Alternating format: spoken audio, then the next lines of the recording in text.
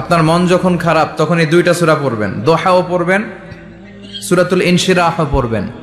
ইদা ইশতাদ্দাত বিকাল বালওয়া, ফাফাক্কির ফি আলাম নাশরাহ, ফাইন্নাল উসরা বাইনাল ইউসরাইনি ইদা ফাক্কারতাহু ফাফরাহ। এটা কোরআনের motivational Surah, অনুপ্রেরণাদায়ক।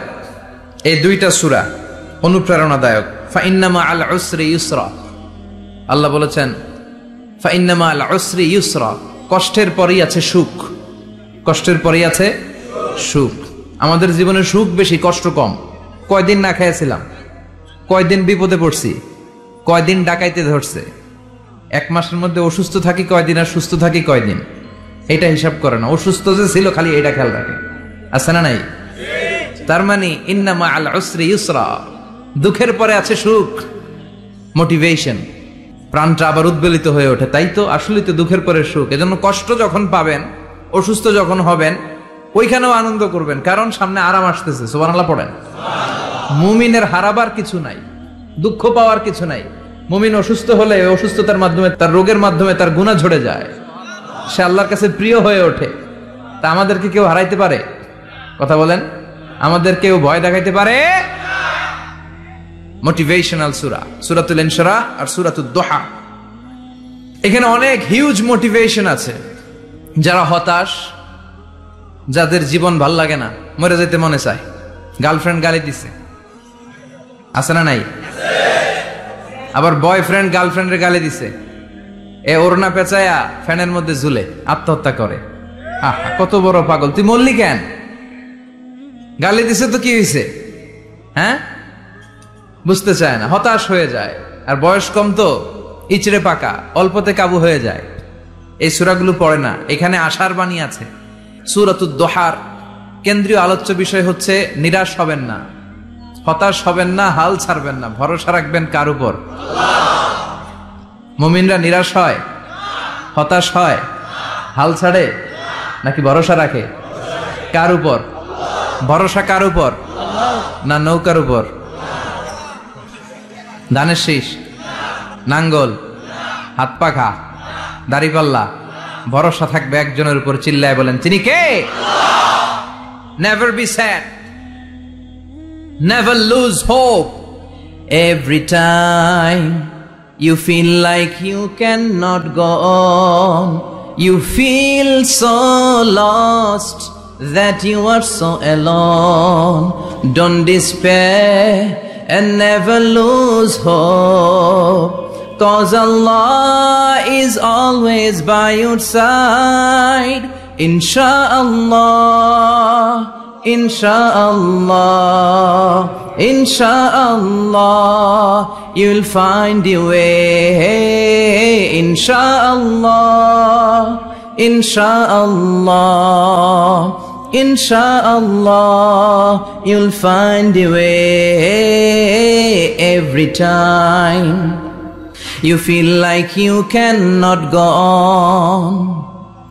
You feel so lost that you are so alone. Don't despair and never lose hope. Cause Allah is always by your side. Insha'Allah. Pardon? Insha'Allah. Insha'Allah. You'll find a way. Insha'Allah.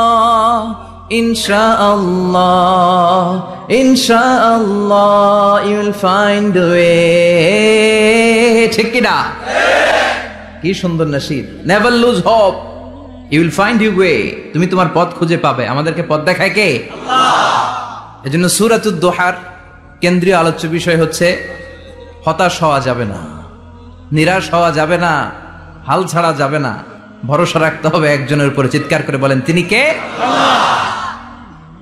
হতাশ যারা frustrated upset people তাদের জন্য, হতাশ ব্যক্তিদের জন্য এই সুরাটা একটা আলোকবর্তিকা একটা আলোর মশাল। এই সুরাটা পড়লেই হতাশ ব্যক্তিরা মনে শান্তি পায়, আশা ফিরে পায়, দিক ফিরে পায়, ঠিক কিনা? এই সুরাটা নাজিল হওয়ার একটা ব্যাকগ্রাউন্ড আছে, শুনবেন? বিষ্ণু ইসা ইসলামের কাছে যখন ওহি নাজিল হতে শুরু করল, বিষ্ণু ইসা ইসলাম ওহির কথাগুলো পৌঁছে দিতে লাগলেন। যাই নাজিল হতো বিষ্ণুনবী পৌঁছে দিতেন। বিশ্বনবী সাহাবাদের কাছে শেয়ার করে দিতেন। যেটাই নাজিল হতো, তিনি পৌঁছে দিতেন। যেটাই। কারণ আল্লাহর আদেশ রসুল ইলাইক। ও নবী, আপনার কাছে আমি ওহি থেকে যা নাজিল করি, সব পৌঁছে দেন। একটাও গোপন করা যাবে? আল্লাহর কাছ থেকে বিশ্বনবী যে সমস্ত মেসেজ ইনফরমেশন তথ্য রেভেলেশন ওহি পেয়েছে, একটাও কি বিশ্বনবী গোপন করেছে? সব প্রকাশ করে গিয়েছে, সব শেয়ার করে গিয়েছে। বিশ্বনবী শেয়ার করতে লাগলেন। সকালে যা নাজিল হয় শেয়ার করেন। দুপুরে নাজিল হয় শেয়ার করেন। রাতে নাজিল হয় শেয়ার করেন শেয়ার করতে লাগলেন। কিন্তু কি অবাক করা কাণ্ড? হঠাৎ করে এই ওহি আসার ধারাবাহিকতা আল্লাহ বন্ধ করে দিলেন। ওহি আর আসে না। আকাশ থেকে নতুন তথ্য আর নামে না। ঘটনা কি? ওহি আসে না কেন? তথ্য আসে না কেন? জিব্রাইল আসে না কেন? কোন বর্ণনা এসেছে পনেরো দিন? কোন বর্ণনা এক মাস, তিন মাস, এমনকি ছয় মাস পর্যন্ত বর্ণনা পাওয়া যায় যে বিশ্বনবীর কাছে ছয় মাস ওহি আসে নাই। বিশ্বনবী তো অবাক, ঘটনা কি? ওহি নামে না কেন? আর ওহি না আসলে তো বিশ্বনবী শেয়ার করতে পারে না। এতদিন যা আসতো বলে বেড়াতো। এখন আসেও না, বলতেও পারে না। কাফির মুশ্রিকটা বিশ্বনবীর গালি দিতে শুরু করল, মোহাম্মদের রব মোহাম্মদের বুল্লা গেছে। মোহাম্মদের আল্লাহ মোহাম্মদের ছেড়ে দিয়েছে।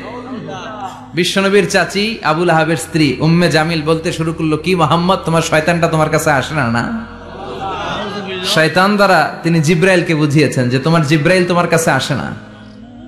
এভাবে সবাই গালমন্দ করতে শুরু করল যে মোহাম্মদের আল্লাহ মোহাম্মদকে ভুলে গিয়েছে। বিষ্ণু ইসা ইসলাম নিজেও হতাশ হয়ে গেলেন, কি রে? ওহি আসে না কেন? আমার কোনো ভুল হচ্ছে না তো? আমার কোনো অপরাধ হয়ে গেল না তো? আল্লাহ কি আমার উপর অসন্তুষ্ট হয়েছেন? আল্লাহ কি আসলেই আমারে ভুলে গেছেন? আল্লাহ কি আমাকে ত্যাগ করেছেন? তিনি কি আমার উপর রেগে আছেন?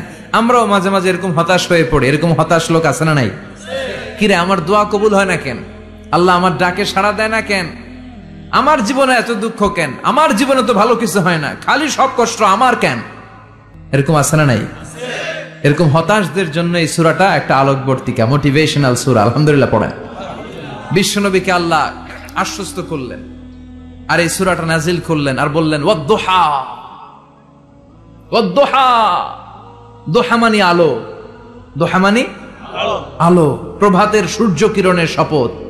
Look up the sunlight it's a very beautiful day out there অনবী হতাশ হবেন না। বেরোন। সকালের সূর্যটা কত সুন্দর। কি ঝলঝলে পৃথিবী। ফকফকে আর তক্তকে দেখলেই মনটা ভরে যায়। ঠিক কিনা?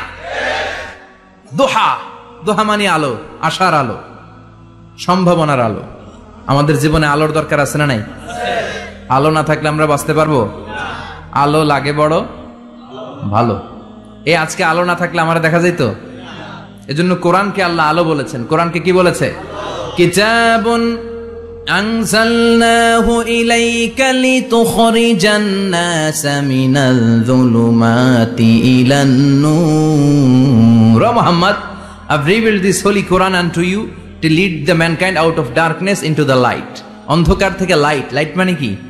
আলো আলোর দিকে নেওয়ার জন্য কোরআন পাঠিয়েছি। আবার বিশ্বনবীকেও আল্লাহ নূর নূরের সাথে তুলনা করেছেন।